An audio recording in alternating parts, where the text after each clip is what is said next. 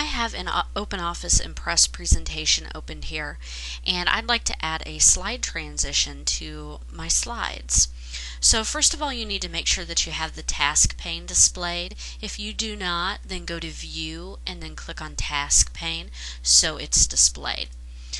At the very bottom you want to click on slide transition and here's your settings for your slide transitions.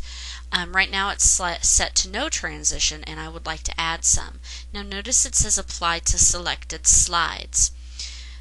This slide is the slide I have selected. You can tell it's selected because it has that dark ground box around it. Now I could select a different slide or I could select more than one slide. If I hold down the control key on my keyboard and then I click the slides I can select multiple slides. In fact I can go and select all of them if I want this slide transition to appear in between all of them.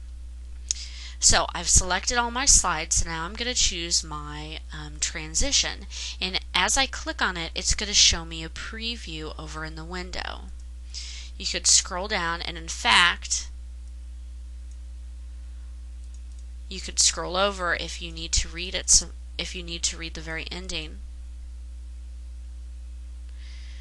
And so you basically go through decide which one you want. I'm going to stick with this one I think.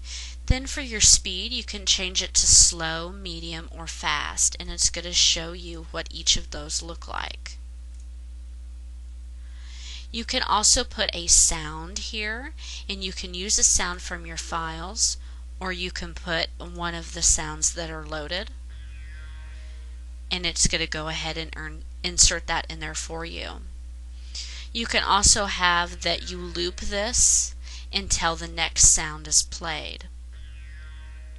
Um, advanced slide, you can choose to advance the slide on the mouse click or automatically after a certain number of seconds.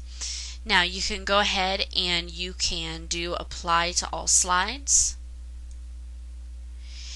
And now it went ahead and it applied that slide those slide transitions to all the slides that I had selected.